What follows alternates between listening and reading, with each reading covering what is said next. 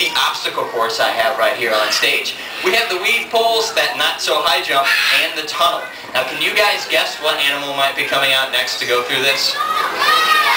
Dog is a very good guess. This was originally designed for dogs, and no, it's not Angela. It's going to be doing this. I hope not. It's actually a pig. I think